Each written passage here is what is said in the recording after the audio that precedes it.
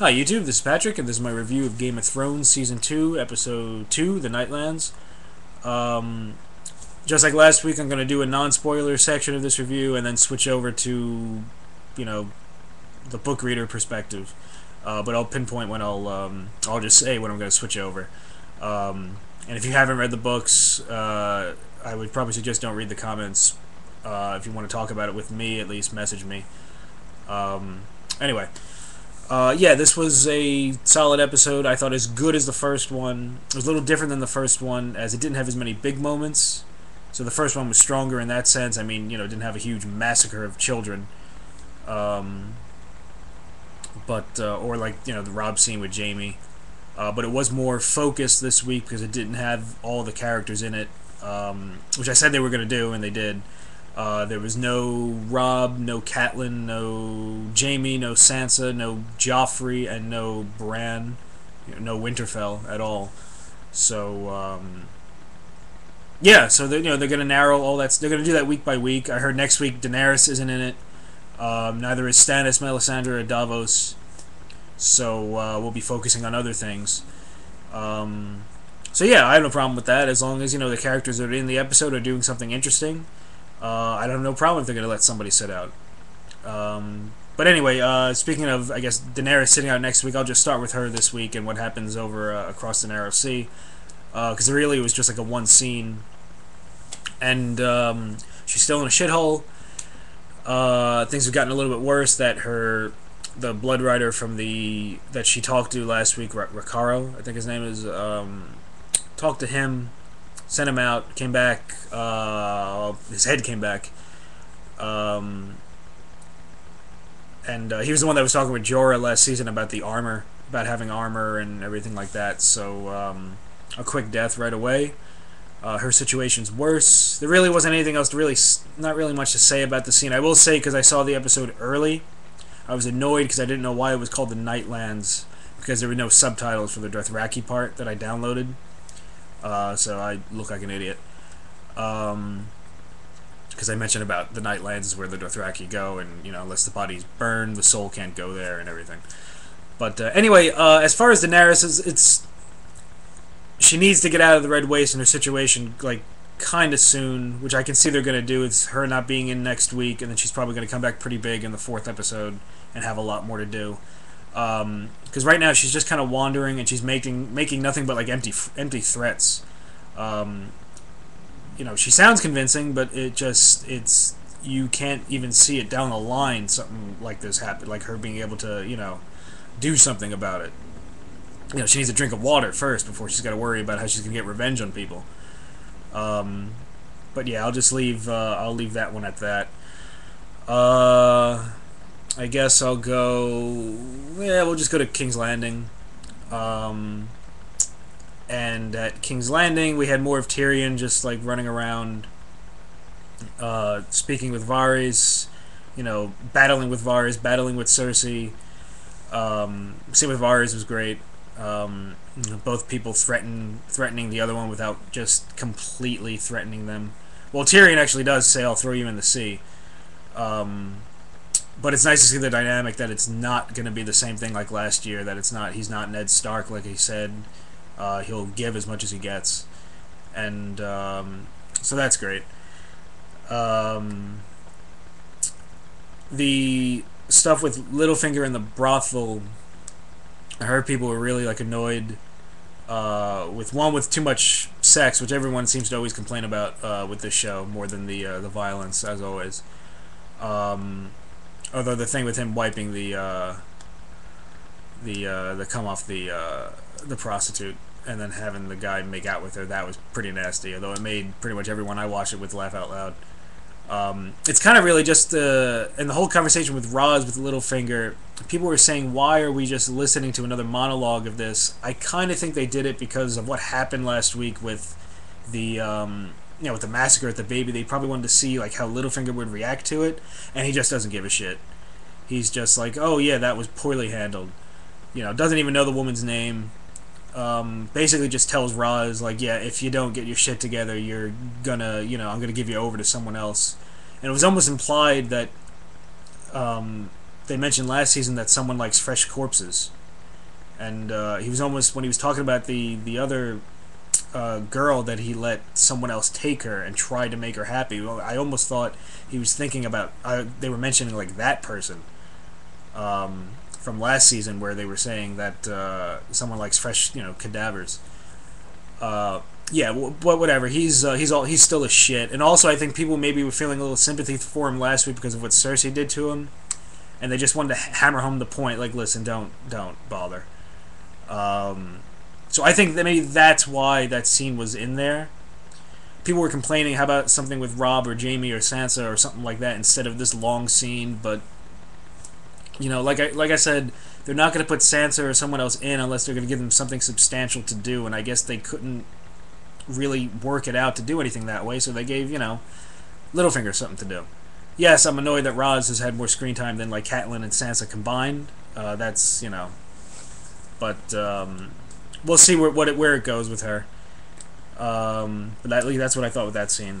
Um, the scene with Tyrion and Cersei. Oh, first I'll go with Tyrion and Slynt. That was that was just pretty good, and making Bronn, you know, city commander. That was just all. It was just. It was fun to watch the guy get, you know, what he deserves. Watch somebody on the show who sucks get what they deserve, um, which is rare.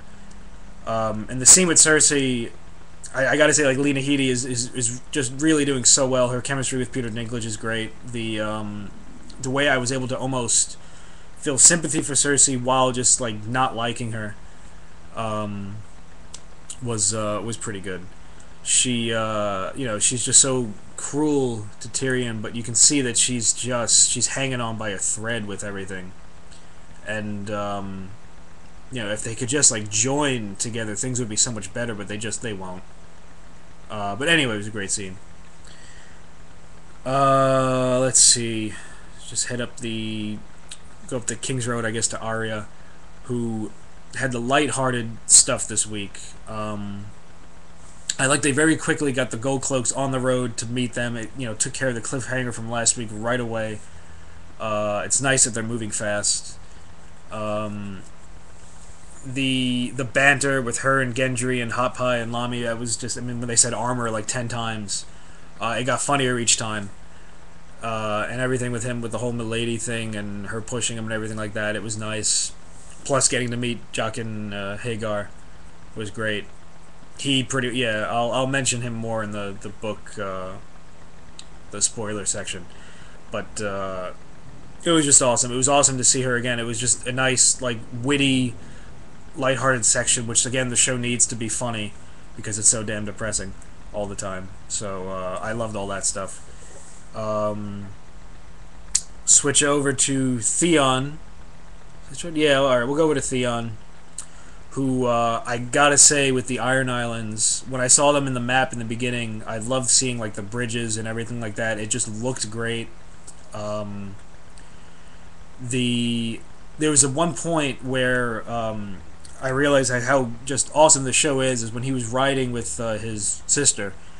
Um, there was just gorgeous shots of the landscape, the great CGI work that was being done, the music was swelling, everything was all working, and then they cut to the inside set where the set looked gorgeous, the costumes were great, you know, the acting was great, like everything just like came together in that like one section when they were riding up to, you know, Pike, and then cutting to the scene with Theon and his father. It just the show is just so well done. It was just like a little like uh, moment where I just realized just you know how just really good this is. Um, actor plays his father was brilliant, just menacing. The whole scene, I thought it was my favorite scene of the episode. Um, of course, I knew that his sister was his sister, um, so that wasn't like a big surprise to me or anything. But um, still, really good. I love this scene um, and introduced the Greyjoys really, really well, and uh, set up the- Theon's arc this year really, really well. Um, my favorite part of the episode. Uh, moving over to Stannis and Melisandre and Davos. Uh, Davos, uh, Liam, Liam Cunningham asserted himself so much more this week. He didn't have as much screen time in the first week, but you know I was watching him this week and I was like, oh yeah, there's Davos. Um, and uh, just again, just more just like witty banter and more talking about like religion. Uh, you know, just fascinating subjects and just you know just good dialogue talking about it. Um, Melisandre and, and Stannis uh, literally fuck Westeros on the uh, on the table, and uh, that's you know, I like when you see symbolism that's so obvious yet you you know are almost proud that the writers were able to think of it. Uh, with that, with all like the pieces falling off and everything. By the way, Carice Van Houten is is uh, I think amazing as Melisandre. She always brings like a vulnerability to it that I really haven't thought about. Um, but yeah, it's uh, yeah, it was good. Uh, all right, then I guess I'll just move to Jon and the Wall because uh, that's where we ended the episode. Uh, Ghost looks better than Grey Wind, and maybe it's the white on white. Um, but uh, I love Sam's. I love the conversation that they were having. Again, just a lighthearted stuff like Sam, "What are you doing? Hello, Gilly. What are you doing?" Um, was just really good. Um, and the episode's ending, you know, it ended so abruptly that I got to say the episode moved so fast that half hour. I looked down and it was like already nine thirty. I was like, "Are you kidding?" And when I looked down again, it was already nine fifty. I could not believe the episode moved by that fast, and that's that's just fantastic. Um, so I love the episode. I'll stop that. This I'm already at 11 minutes. I'll stop that first half here, and I'll talk about the spoiler stuff now. Um, so yeah, uh, shut it off if you don't want to know anything. Uh, okay. Anyway, uh, as far as changes go, I'll just redo this again. Uh, Daenerys. People were pissed off that they kill off Rakharo not like he's a main character. He's somebody in the background that she orders him to do something in the books. I have no idea where anyone's that annoyed with it. You know, they needed to do something with her. They, she can't just wander around. At least if she's wandering around, she's sitting on her ass doing nothing. That there's, you know, at least someone died uh, that we know. You know, something substantial has to happen. She'll get to Qarth probably in episode four, seeing as she's going to sit out this week. So she better get to Qarth because things can be really tedious after a while there. Uh, that's why they killed him off, at least I think, anyway, to give that section of the show a little bit of weight to it. Um, moving up to King's Landing, I love the change with uh, Bronn being um, Watch Commander over Slynt. Uh, just for the fact that Bronn later on in the books he kind of just like drifts away. Like she, they mention him in the fourth one, but he drifts away. This is a great you know way to keep him around. It's just I think it's a brilliant move, and I love the, Jerome. Uh, was it Flynn? He's great. So keeping him around, I'm all for it. Um, people are also upset that Joffrey is the one that gave the order, not Cersei. I said this last week. Cersei is having no problem being a complete bitch for people to not like her. Um, she doesn't have to be a monster like Joffrey. It doesn't have to go that way. There can be levels of like evil on this show. Um, so I don't mind that change with Joffrey ordering the the killing. Um, but uh, yeah, that was that was all fine. Uh, all the Arya stuff. Uh, and H'ghar, he like won me over two lines in. I was like, "Yep, there he is," right from the you know. I thought it was great. Uh, so I'm looking forward to where that goes. Um, I know I'm going through this fast, but I don't want this to be you know a 25 minute thing here. Um, so I like that stuff. Um, uh, let me see. Moving over to, I guess, Pike. Um, oh, yeah, first, the, the Littlefinger stuff. Again, people were pissed off about Ros having more screen time. a little annoyed about that myself. But um, they got to keep Littlefinger in it. They got to keep him around. Because obviously we know how important he eventually becomes. So. Uh, let's see, let's see. Okay, Pike, the whole thing with Yara. It was Asha, now it's Yara. Yes, that does bother me. Does it bother me more than it should? Definitely. Does it really have to anything to do with the quality of the show? Not at all. So it's gonna slightly annoy me, and that's it. Um, again, people were pissed off that she doesn't look anything like she's described in the book. In the book, I'm pretty sure I thought she has like short black hair, and she just I don't know. She just looks really like dirty in the show, but looks like her father. Um, I thought the actress was fine. Uh, I thought she got it across really, really well. Everyone, you know, trolled the shit out of Theon like I knew they were going to. That was, you know, that worked out for me. Um, I managed to sympathize with him all the while knowing he's going to do some awful stuff and, you know, the weeks ahead. So, uh, just again, well done by the show on that. Dragonstone, first of all, everything with Davos, I love that he's now, you know, he's asserted himself. Because again, last week he didn't have a lot of screen time. This week he was just, you know, right there. And um, he made me see, like, the Davos from the book, or at least this, you know, this version of it. Um, so that was good. And also Salladhor Saan, the pirate. Um, he he was great right away, right away, right away. He again another one took two lines and already I thought he was you know just just really well cast. Uh, idiots. Some idiots have problems that they cast someone like Black, but you know again those people were idiots. Uh, that really doesn't matter. Um, like I said, he was the character two two lines in, so I don't know what those people people have problems. Um, as far as Mel and Stannis having sex, another thing, like, listen, how do you think you get a shadow baby?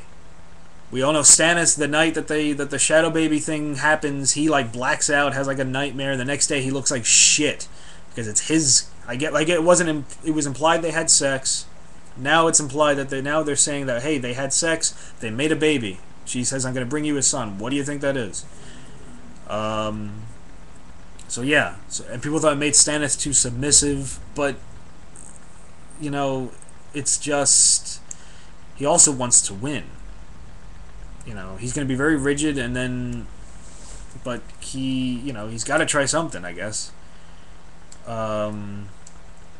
So yeah, people I think are complaining just way too much about changes without really thinking them through and thinking the reasons why. Um. Yeah. Anyway, uh, I guess last again at the wall. I don't remember Jon seeing a White Walker in the book. Maybe he did. I don't remember it. Um, I know he finds like the, the dragon glass. I thought that's what he what he found. I, I don't know. Um, but uh, yeah, there was no real changes, I guess, with that. I like that they moved Sam and and, and Gilly right away. Um, you know, because we know uh, what's going on there. Although I, I gotta admit, I was just thinking about their sex scene later on, and uh, yeah, kind of ruined the moment for me. Thinking of the, the, the fat pink mast. You know what I'm talking about. You read the book. I'm not gonna go further than that.